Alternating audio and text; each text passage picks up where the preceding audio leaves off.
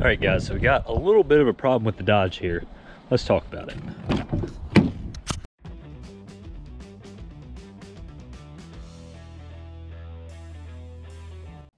What's up everybody, Bandit here. So as you might be able to tell, we're having a little bit of a problem here in the Dodge, and it has everything to do with springtime and unfortunately mice.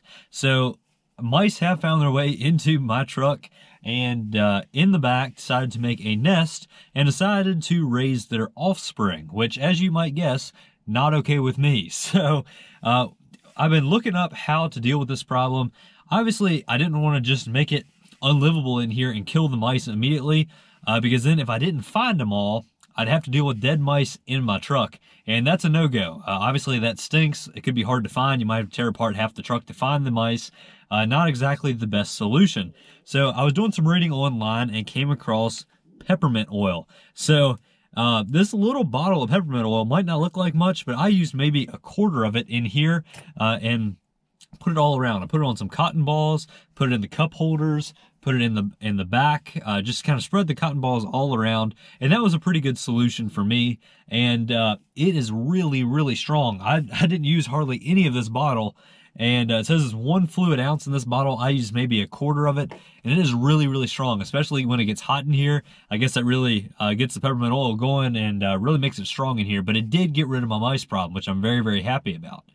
So the way that I found this is I was vacuuming out the truck the other day and back here underneath the rear seat where the jack is stored, the mice had made a pretty serious nest back here. And actually there's a baby mouse right back there in the nest. So I did remove all that, cleared it all up, and set this peppermint oil around, and that did seem to fix my problem. So like I said, there's probably all different ways to handle a problem like this, uh, but I wanted to go the peppermint oil route because, again, I really didn't want the mice dying in here. I think that would really be a headache and something that I was not willing to go through.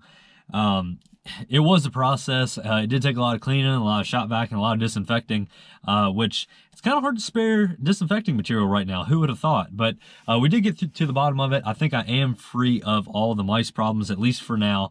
Uh, but I do plan on keeping a little bit of peppermint oil or peppermint candy or something like that in here that does have a little bit of smell. Some of them might keep the critters out of the way. So if you've ever had a mouse problem, leave what you did down in the comment section below. Again, after going through the peppermint oil thing, would definitely recommend that. And again, it doesn't really have too much of a negative effect on your truck. It's not like you're you're killing the the animals in here. It's not like uh, you're spraying a bunch of um, you know ant spray or something like that. Something else that's really strong that would have a really bad smell. Um, it just kind of smells like a giant candy factory in here, which is okay by me.